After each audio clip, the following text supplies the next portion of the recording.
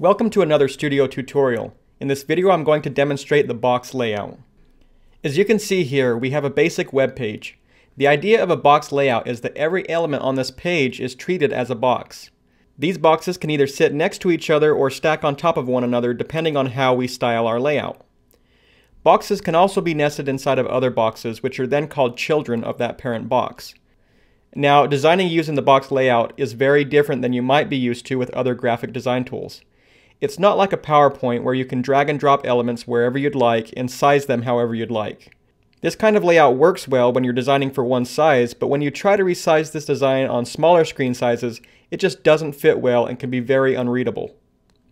Think of the box layout more like a Word document, where as you add text and images, the content moves around to fit everything, flowing from left to right and then top to bottom. That's the default on the web too. The box layout can seem very constraining, but it actually gives us a lot of flexibility in how we design our web pages to fit all kinds of devices. Using the box layout, we can design responsive web pages that changes layouts as our browser window resizes. Each box has positions, sizing, and spacing that works in harmony with one another to get an ideal experience for that size. I know this is somewhat of a vague explanation, but I'll explain how the box model works in practice with these future videos.